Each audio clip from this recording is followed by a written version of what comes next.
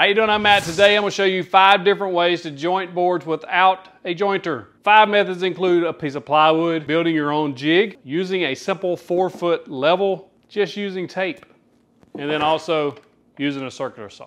Let's get started. For a lot of woodworkers, this is a big challenge to be able to find a way to joint lumber without buying a jointer because jointers are expensive. So if you've watched this channel any time at all, you know that before I was blessed with that Wahuda jointer, that I was jointing with my table saw just using a level. This is probably the easiest way to get started jointing boards. It's not the best way, but it will get you by. So it will not make a perfectly tight seam every time, especially when you get into longer boards over about four feet. However, on shorter boards, it works very well. Let me show you how to do it. First and foremost, for this, for this method to work, your blade has to be 90 degrees to your saw. So if it's not, then it's not gonna, your seam isn't gonna come out right. Gotta be 90 degrees. If it's not 90 degrees, you're wasting your time. And I'll drop a link in the description below, one of those little digital angle finders if you're interested. So I'm gonna be jointing the edge of this board using a four foot level.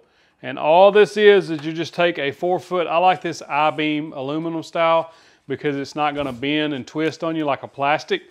The reason this works, I get a lot of questions on why this works versus just using the fence. So the real reason this actually works is using a level on the table saw. I'm actually magic. I've, I've actually uh, sprinkled some magic dust on this, uh, some magic sawdust on this level, and it, now it works because it's magic. The reason this method works is because you're giving this edge a flat surface reference on the other side. So whatever's going on over here on the right side of the, of the blade, when it goes through the blade, then that's what's going to happen over here on the left. If I just use the fence, and I'm going to exaggerate, but if this board was had a big bow in it like this, when I'm pushing it through, it'll actually do that on the blade.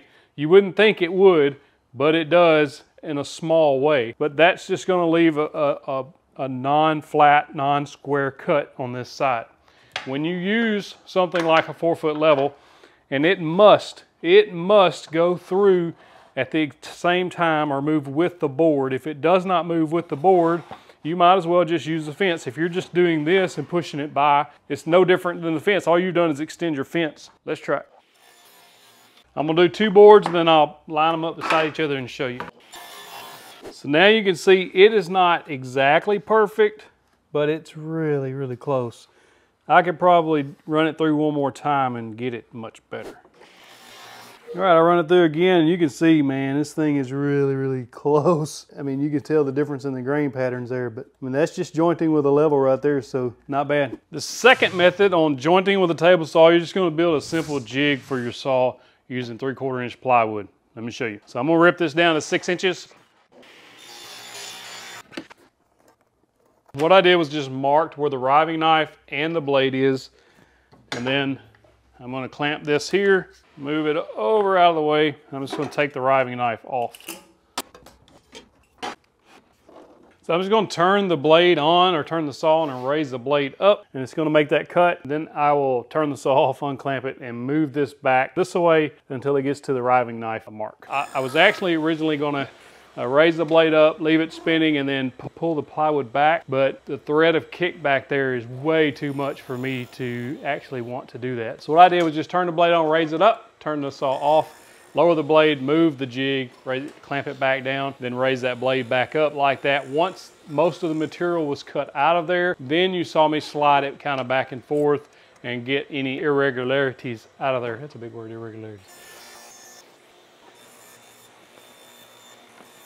Right, it took me just a minute to figure that one out, but uh, it looks really good and I can actually, the more I do it, the tighter that seam is getting.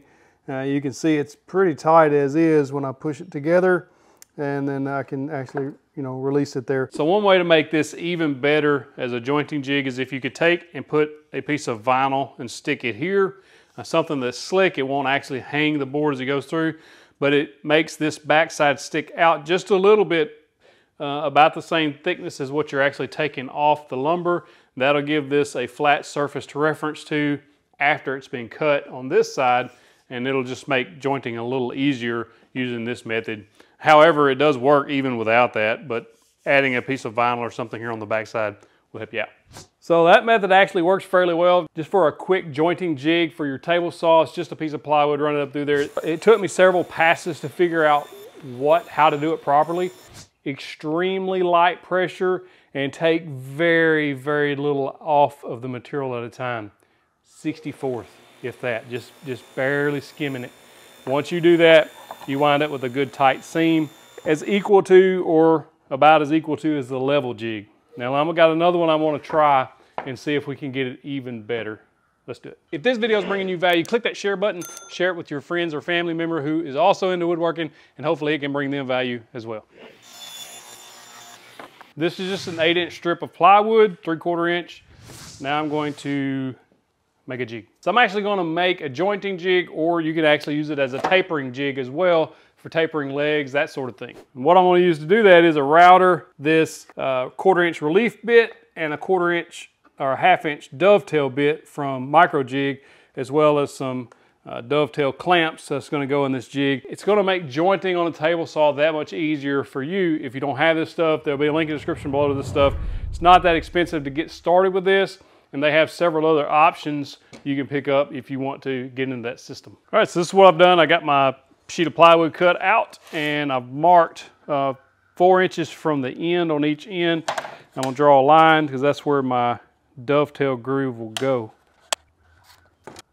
And you just make this board however long your fence is, and then you're gonna mark halfway of that distance, whatever that is for you. Make a line, and then halfway between these two lines, we're gonna make another line so that we can have uh, another groove here. And then we've got uh, two marks, two inches from each end there. We'll make a mark down through there, and then that'll be our grooves that we're gonna cut. I don't have a router table, so that's gonna make things just a little bit more time consuming, but it's not, I don't think it's gonna be impossible to do. Uh, you set this quarter inch relief bit, and we have to cut the quarter inch grooves first. That way the dovetail bit doesn't actually have to take out as much material. Uh, it'll make it last longer, it'll make it a cleaner cut, etc., etc. So what I gotta do is set up a line, route that, change bits, route that, and over and over until I get them all done. So it's gonna take a little bit of time. So all I did was lined up I put my router down there, lined up the center of the bit with the line, and then I just measured from there to the line and squared everything up. Gonna be a whole lot of blade changing. Man, I need a router table. I don't know why I was going the wrong way, but I was. Don't do that. So that's the dovetail track. And I bought these clamps that fit the dovetail track just like that. That's awesome. This is gonna be an awesome sled. Here we go. I gotta finish up these grooves and then I'll show you what this thing can do.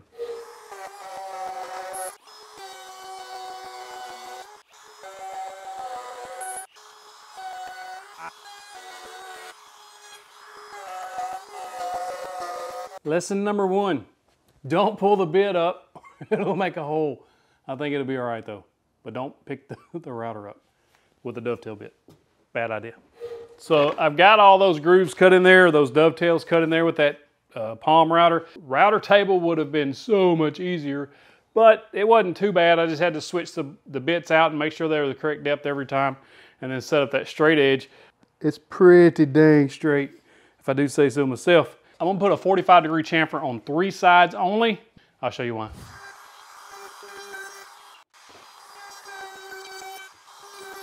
So I'm just gonna measure over one inch from the edge, make a mark. Same thing here, make a mark.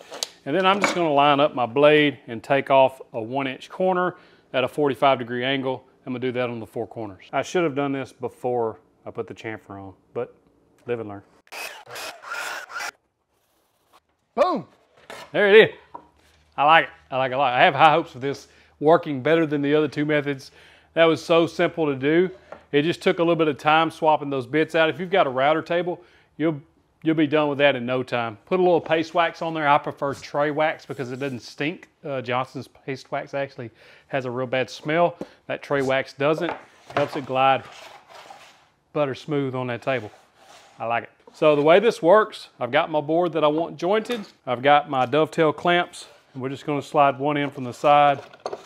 I've run this fence. I've run the fence uh, to where this sled is actually just beside the blade.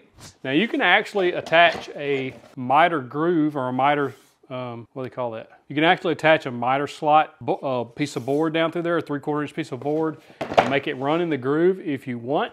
But for a jointing sled, you don't need it. Right? Because you're going to be holding it pressure against the fence. And so all you want to do is have that board overhang the, the, the sled itself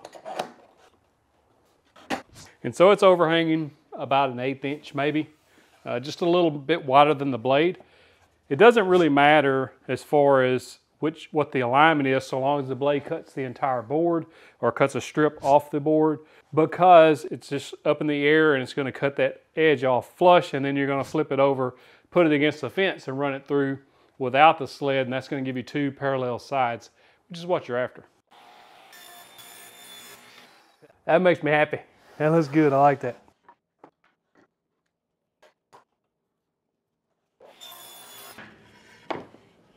Boom. That's the best joint yet. Jointing sled. Man, I should have built one of those a long time ago. The level works okay, but the jointing sled wins this challenge by far. It's easy, it's quick.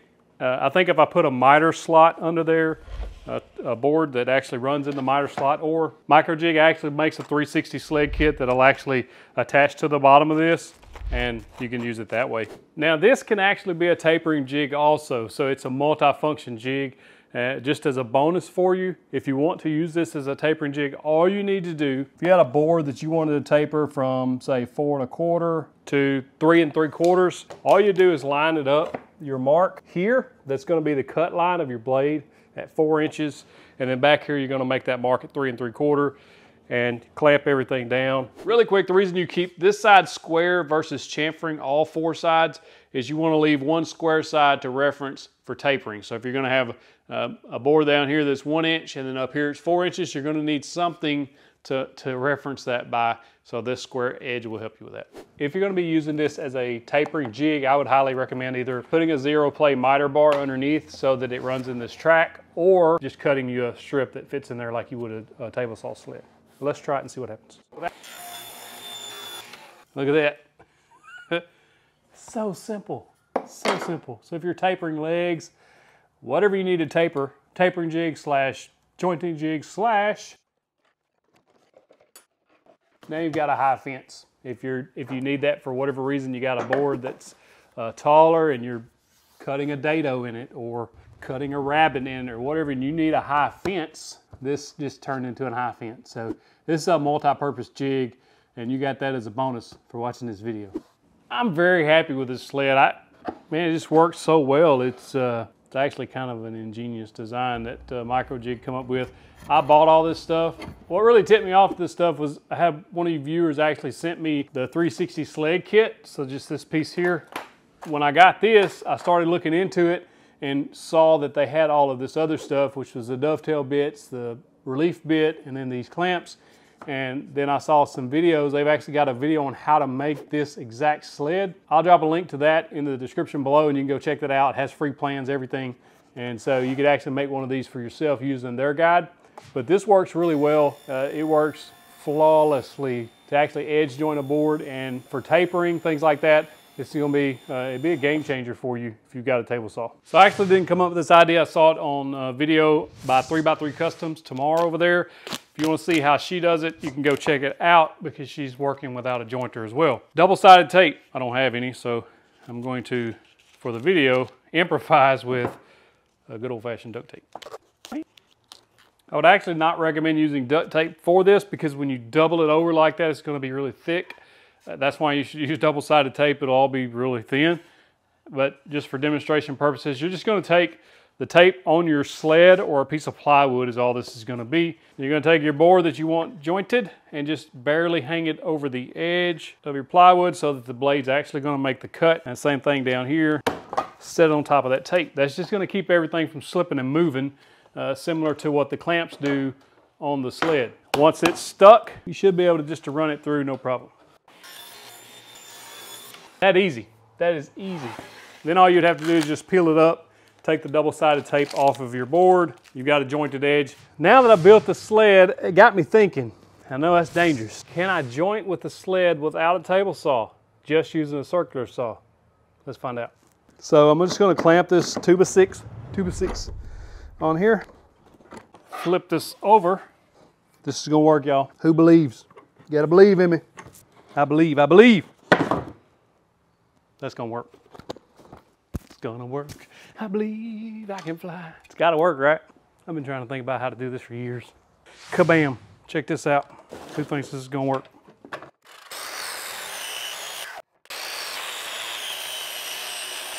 Boom! that works. I'm a genius, I know. You can tell me, I, I, don't mind. That works, that works well. And it's gonna be a good flat edge on this side. And now, uh, obviously you would need a table saw or something, or even a, uh, maybe the Kreg Rip-Cut could flip it over and, and use this side as a flat reference to, yeah, I think that would work actually. And then you'd have two parallel edges and with a circular saw. Now it'd be hard to do with a 2 by 4 or anything smaller than a 2 by 6 uh, you could probably still do it, but it would just, it would be much harder to do.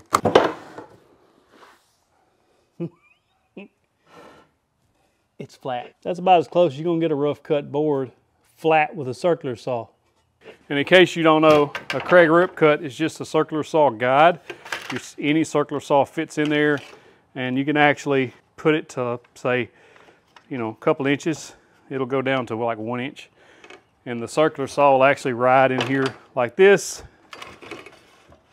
And then you could actually reference this edge to cut this edge and you would have a two parallel sides jointing with a circular saw. Those other methods you can use if you don't have a jointer. If you do have a jointer, I want to throw this in the challenge just to see how it stacks up against especially that sled because that sled was